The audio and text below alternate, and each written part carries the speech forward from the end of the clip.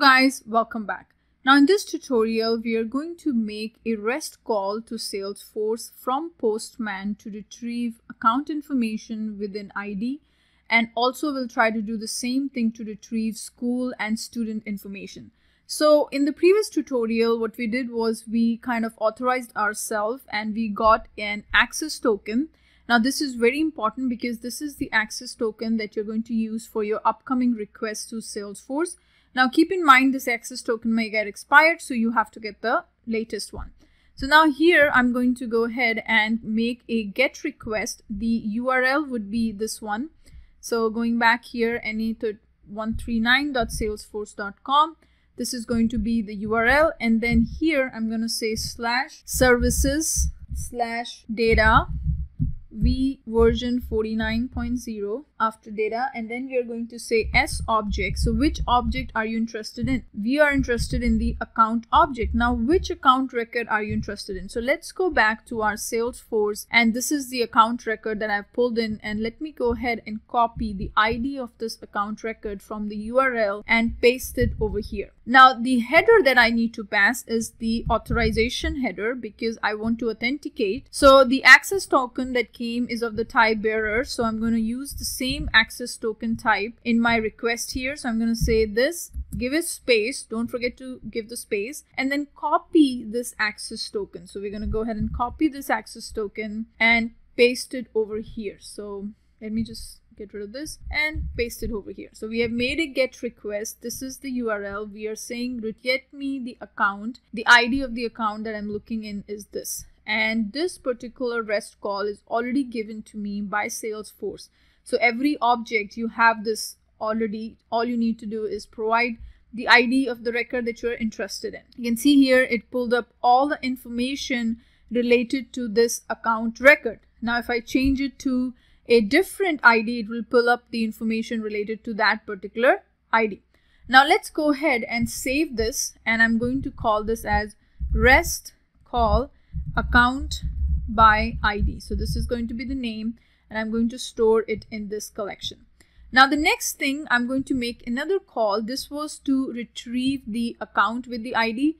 Let's go ahead and retrieve a student with the ID as well. So all I'm going to do here is I'm going to copy the same exact request. It's going to be a get request and then I'm going to paste it over here and I'm going to replace the account with the student object because I'm trying to fetch a student record now. And then I'm going to my student tab here and let's say we pull up this student and copy the ID of this student and we will use this ID in order to make our call. And an important point that you have to do is you have to set up this header which is the authorization header and we will call it as the token type is bearer space and then what is the access token. This is the access token. So I'm going to copy this access token and I'm going to paste it over here. So now I will be able to make this call. Now it is going to return me complete student record. It returned me the uh, the ID to access the record. It returned all the existing fields that are there. Uh, the email address of the student, the name of the student, the email address, then the address, class enrolled he is, and the school. So all that information came.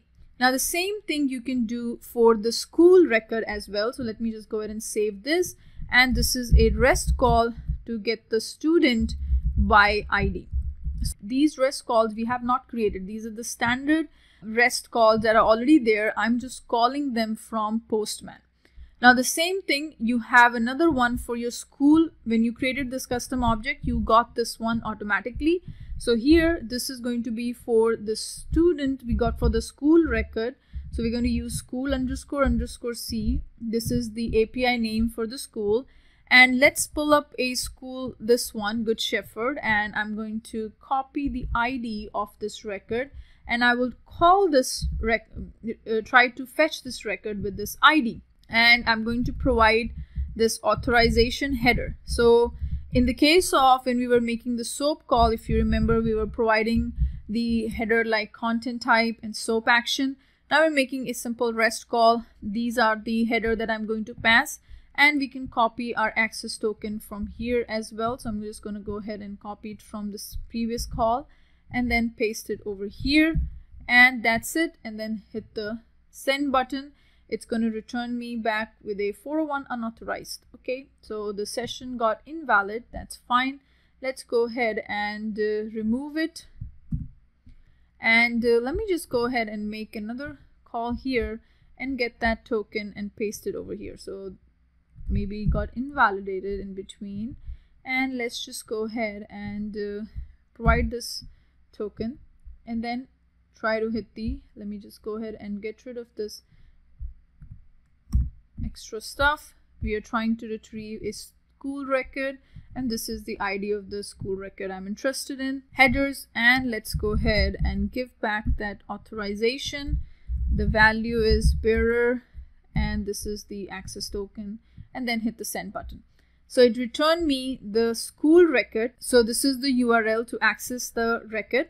Now if you go ahead and uh, and the other information it came up with the name when was this record created who created it and then it provided us the fee for the school the address of the school and the phone number of the school so these REST calls that we are making from Postman, we have not created them inside of Salesforce, right? They are already there for every standard object and for every custom object, we get these calls by default. But that doesn't mean that you can't create your custom REST web service inside of Salesforce. We can do that.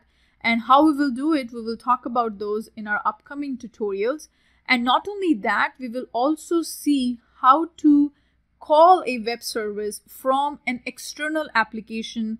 We, and we will be building that external application and inside of that external application we will be making a rest call which will fetch the data from salesforce and it will display that data inside of Salesforce. So we'll cover all those things. So just this is just the, the initial part, the easier stuff.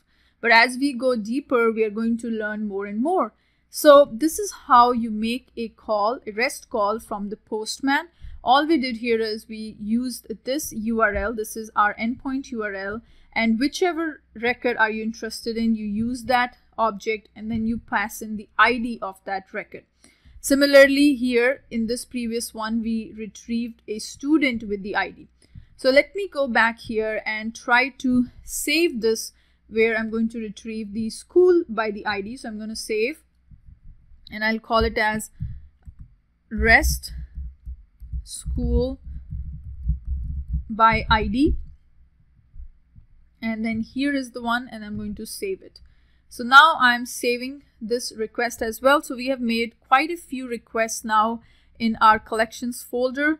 As we keep going, we're going to make more and more requests. So this is a simple get request I have shown. Now in the next tutorial, we will see how to insert the records into Salesforce and those APIs are already there. We are just going to call them from Postman and we will send a data into the Salesforce. And that time, since we are sending the data, we will be using post instead of a get. So I'll talk to you in the next tutorial. Thank you.